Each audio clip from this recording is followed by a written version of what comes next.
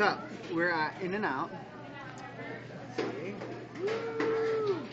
Random people. And Morgan did, made an invention. I guess this would be called an invention. Yes, it is. almost. It totally is. Um, she ripped the package open and she said it's a packet packet boat. No, a It's ketchup a ketchup boat. packet boat. So what you do, take your French fry and instead of pouring it down in there And making a mess. and making a mess, you can just dip your French fries in the ketchup boat, and you get the right amount of ketchup every time. No mess, no hassle. You know, I wish I was as smart as a redhead. Jesus.